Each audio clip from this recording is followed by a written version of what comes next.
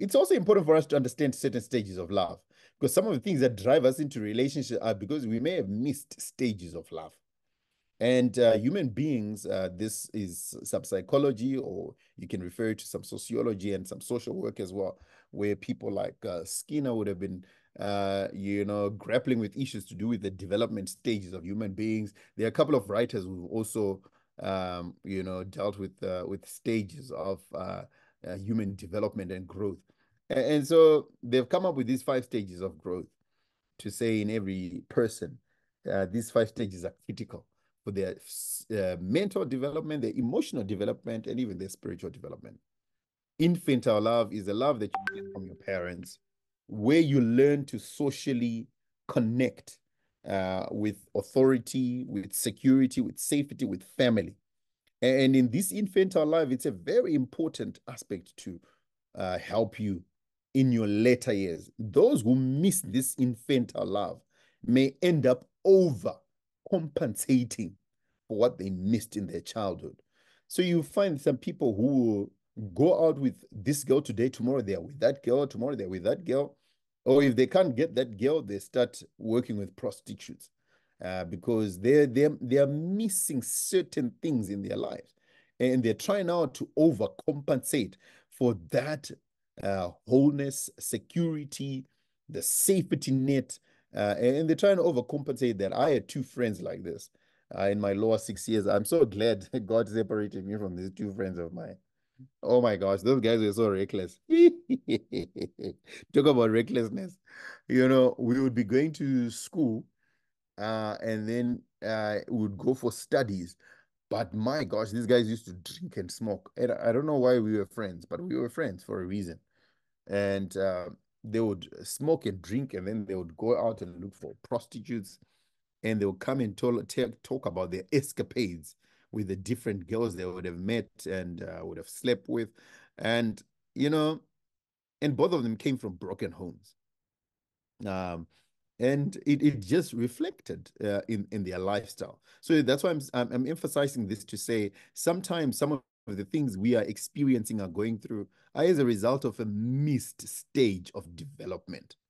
We, we, we have missed a certain stage of development. And as a result, those gaps are created and they come and affect and haunt our lives. So infantile life is very important. And then filial love. Filial love is the social uh, relationships that you have, the love that you feel uh, uh, of belonging in a society, whether it's at school, you have those beautiful friends, or you go to a camp you have you ever had intense connection at camp that you don't want to go home and for the first week you're writing to one another, you're communicating with one another. After two weeks, it sort of sort of fades away. That's filial love, where we get to connect in society. We get to uh, appreciate, uh, uphold, and love and get close to one another. Uh, it's a very important aspect of our development as human beings to have friends and connections that develop who you are. And then there's pre-adolescent love. Now they sometimes call this puppy love, where teenagers is getting from one, form two. I remember, in my form two when I was in when I was in form three, form four. Um, you know, I I started liking this girl and she liked me too. We were writing each other letters, and then we were using post almost every single day. We were writing each other letters. I had piles of letters, guys. I had to burn them uh, in order to safeguard my marriage. But there were piles of letters of sweet nothings. That's what we used to call them. That's pre-adolescent love. You know, so that was a stage. It's a stage. It's a normal stage of life where you get to connect. You are just in that stage where you are uh, getting to understand who you are.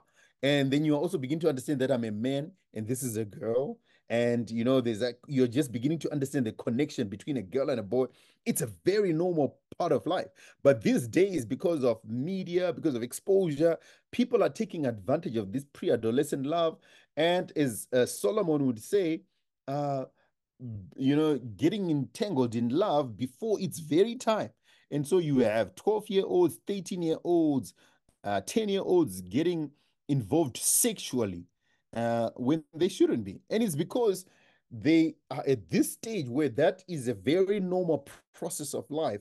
And unfortunately, because of lack of guidance, lack of counseling, and lack of teaching, and, and having missed infantile and filial love, they jump into this love not knowing what they are doing. Uh, and, and it actually hurts their future from then onwards. But uh, we've seen also pre adolescent love in some very popular young people who were uh, impregnated at 12, 13 by somebody who just decided to take advantage of them. You know, that pre-adolescent love. Somebody begins to buy you the latest clothes, label, you have all that, all the money that you want, you get chauffeur, you get driven from here and there, and you think I have found love. This is love. No, no, no.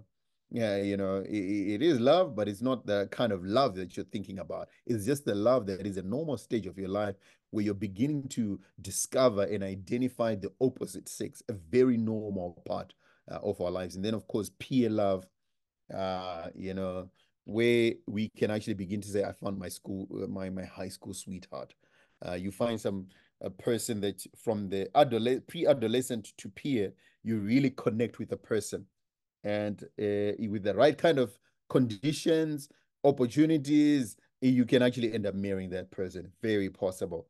But each stage accounts for us to take responsibility. And then, of course, the mature love is what then leads what marriage is all about. And that's an accountable love. So I just thought I would share those things as very important.